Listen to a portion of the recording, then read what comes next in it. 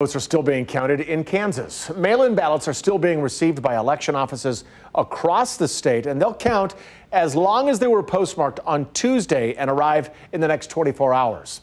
So let's take a look at the presidential results county by county.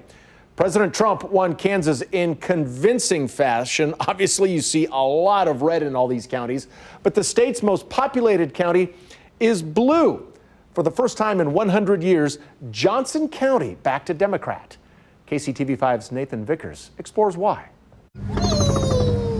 Are you so stinking cute? Samantha Parrott has noticed the swing in Johnson County, and not the kind she visits with her son at Sar-Ko-Par Park. I think we're a real melting pot now in Johnson County. I think there's a lot of diversity now. She's not surprised that 52% of her Joco neighbors picked a Democratic presidential candidate for the first time since 1916, when Woodrow Wilson won the election.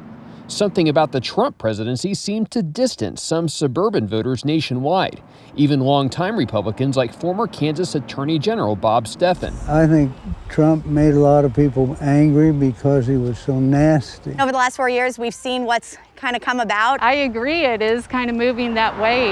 But some researchers see a bigger trend.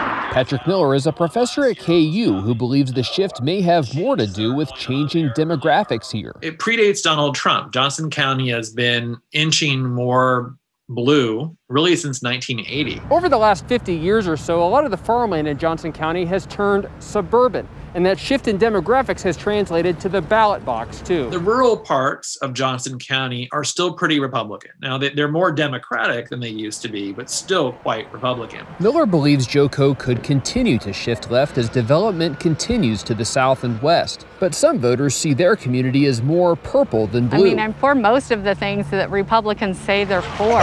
it's hard to predict whether Johnson County will swing back to red in four years. Johnson County is just ready for change. Johnson County is ready for something different than the last four years has offered us. 2020 could indicate that anything's possible.